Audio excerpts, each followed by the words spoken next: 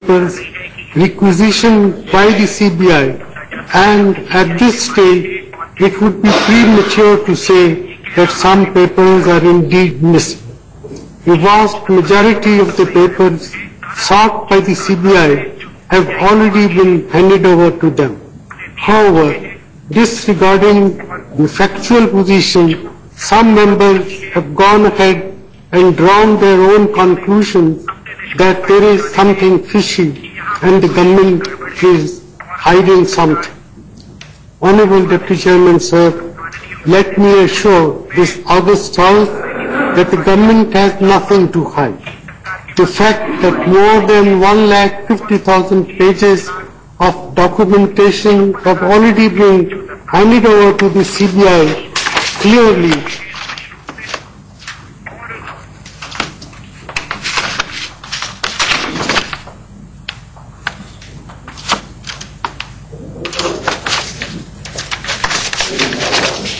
clearly shows that our intention to facilitate the process of investigation cannot be called into question. Right from the days the Comptroller and Auditor General began its exercise of performance audit, the government has always provided its fullest cooperation to the CAG and later to the CBI. We will continue to do so. If the records in question are indeed found missing, the government will carry out a thorough investigation and ensure that the guilty are brought to book. Honorable Deputy Chairman, sir, the matter of allocation of coal blocks is sub judice. The apex court of the country is looking into all aspects of these allocations. Moreover, the ongoing investigation by the CBI is being closely monitored by the apex court.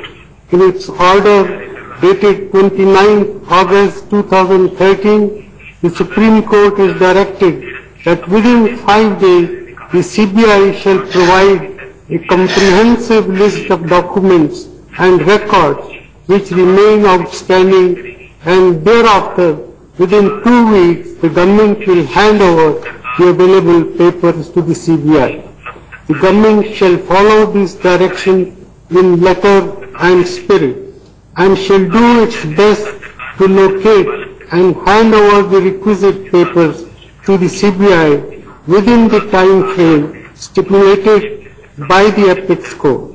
If the government is unable to locate some of those papers within the stipulated time, then as directed by the Honorable Supreme Court, a report will be filed with the CBI for appropriate inquiry and investigation.